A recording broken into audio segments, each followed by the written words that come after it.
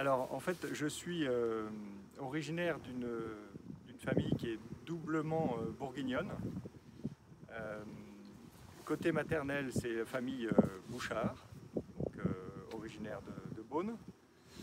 Et côté paternel, la famille Latour, puisque mon arrière-grand-mère était la fille de Louis Latour, le troisième,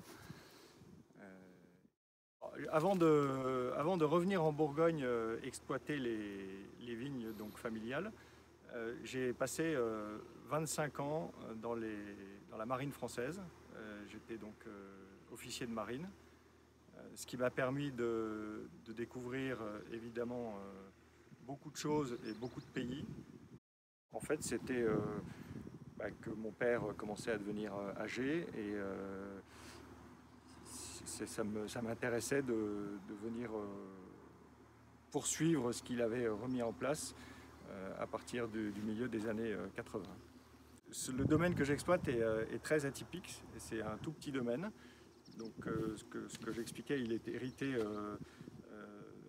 du domaine Latour initial et il a été partagé avec les différents héritages. Et donc aujourd'hui, je n'exploite que 2 hectares, mais euh, sur ces 2 hectares, euh, j'ai euh, trois grands crus, un premier cru et, un village qui est une vigne que j'ai plantée en 2013. dans les trois grands crus, j'ai la, chance d'avoir un demi-hectare de Romanée Saint-Vivant, un peu plus d'un demi-hectare de Corton Charlemagne, donc une parcelle qui est sur le coteau là-haut, et puis euh, presque un demi-hectare de Corton-Bressande, c'est la parcelle qui est euh, derrière nous.